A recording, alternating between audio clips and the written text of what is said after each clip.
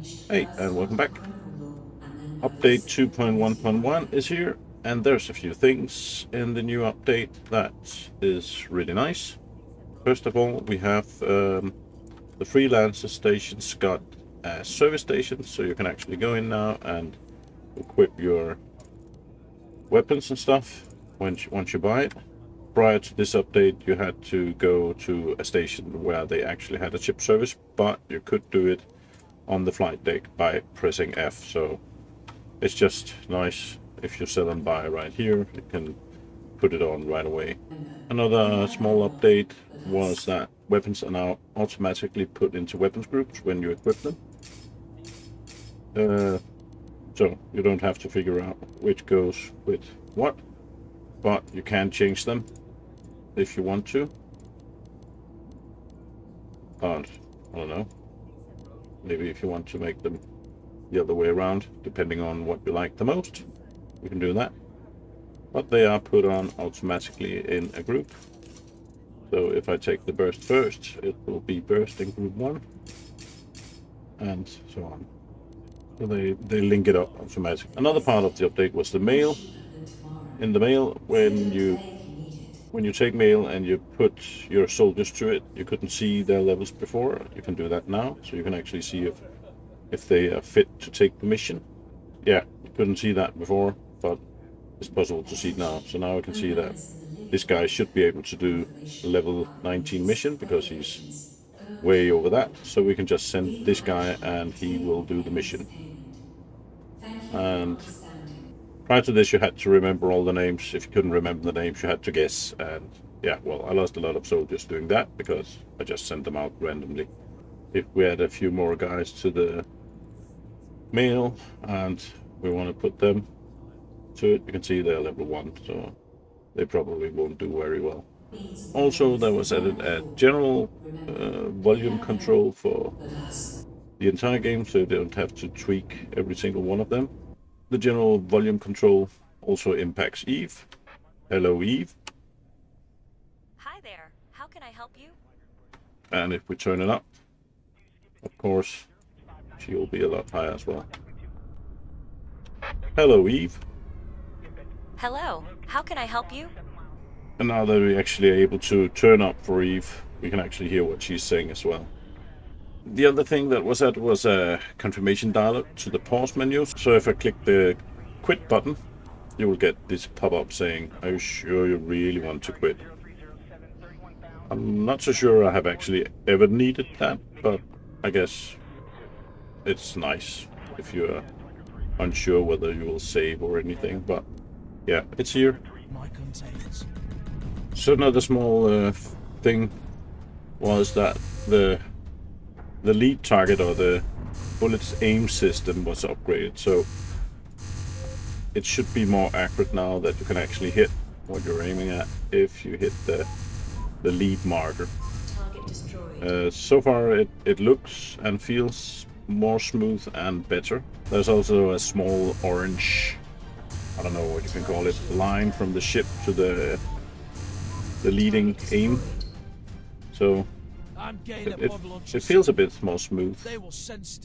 Prior to this uh, update, often when I was shooting at stuff, uh, I felt like it, it didn't really exactly hit where it was supposed to. But now it's working, or it's at least working better. So the last part of the update has to do with ground combat, and it should be that corpses no longer despawn once you've killed people.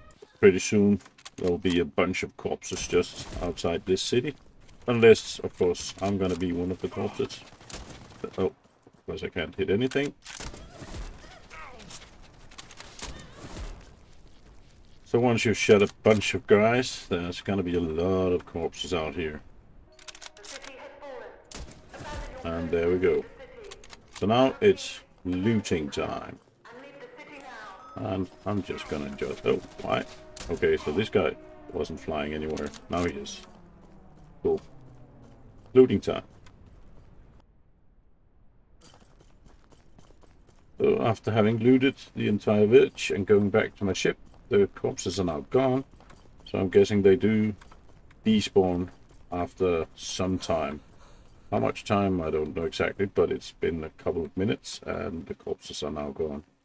So yeah, they do despawn, they just don't disappear immediately, but they will stay for a little bit and after that they're gone. Now, one thing I would like for the next update or an update soon is that you could actually sort these, like all the AMX tanks next to each other and all the whole series next to each other. Right now, they're pretty much randomly put in here.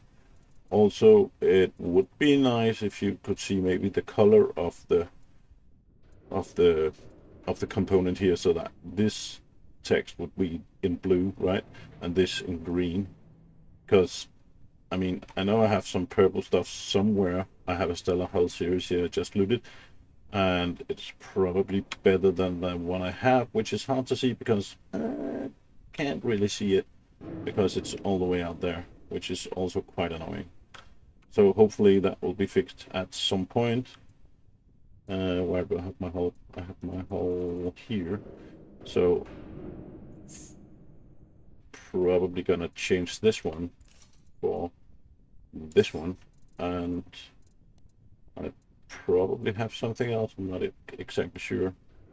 It's but it's not it's it's kind of hard to figure it all out. Generally speaking we do need some sort buttons overall like in the galaxy web. Would be nice to be able to sort them by money income or level stuff like that.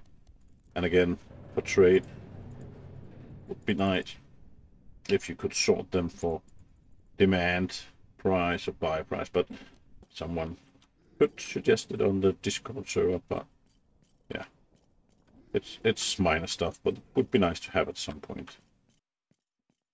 Apart from the update of course there was uh, the usual bug fixes. Uh, i'll post them on the screen. You can go what, read them here pause the video or you can go read them on Steam. But generally speaking, it was uh, a lot of the minor issues that people have been reporting. That was rather annoying. In general, uh, most of the bugs that were fixed this time are not bugs I have personally experienced, but doesn't mean they're not quite annoying for anyone who has. And yeah, that's pretty much it for this small update 2.1.1 any case, in any case, I'll be back as soon as there's a new update. Uh, so this is it for now. Raxor out.